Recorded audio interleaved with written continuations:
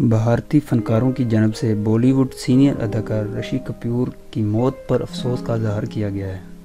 अक्षय कुमार, प्रियंका चोपड़ा, अजय देवगन समेत दीगर भारतीय फनकार ऋषि कपूर की मौत पर बेहद अफसरदा हैं।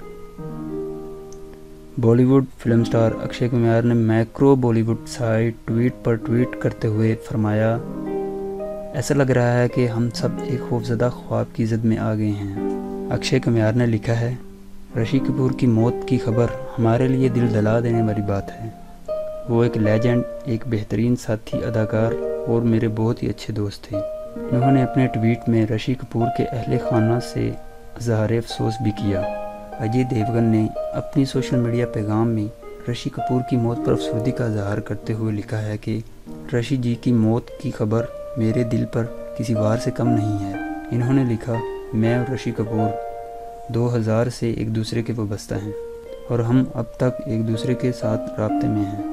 भारतीय लेजेंड अदाकार रजनी कांत ने अपने ट्वीट में पैगाम में लिखा कि, मेरे सबसे प्यारे दोस्त ऋषि कपूर की मौत ने मेरा दिल तोड़ दिया।